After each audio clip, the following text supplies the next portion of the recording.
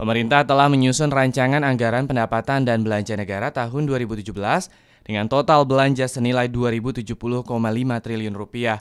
Penyusunan RAPBN 2017 didasarkan pada tiga hal utama, antara lain penerimaan pajak, pembangunan infrastruktur, dan defisit yang dijaga 2,41 persen dari PDB atau produk domestik bruto. Menanggapi hal tersebut, Wakil Ketua DPR RI bidang Korinbang Agus Hermanto mengatakan, dari sektor pajak, pemerintah memiliki tugas berat untuk memenuhi target penerimaan negara, namun di sisi lain pemerintah juga harus menjaga iklim investasi dalam negeri. Tentunya uh, ini harus dilaksanakan uh, sosialisasi, uh, arahan-arahan, guidance-guidance dari pemerintah pusat, sehingga daerah tidak canggung-canggung menggunakan.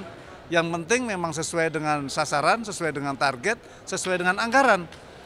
Wakil Ketua DPR RI bidang Korpolkam Fadli Zon menegaskan, Pidato Presiden dalam sidang tahunan mengenai RAPBN salah penafsiran dalam pelaksanaannya.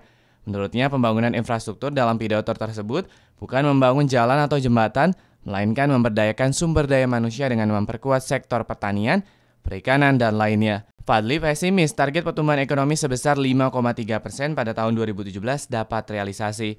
Infrastruktur itu benda, gitu ya.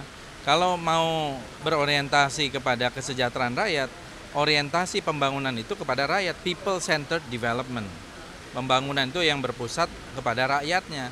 Jadi rakyat mempunyai kekuatan ekonomi, income, daya beli gitu loh. Jadi kekuatannya kepada ekonomi rakyat. Rohim Nugraha TVR Parlemen melaporkan.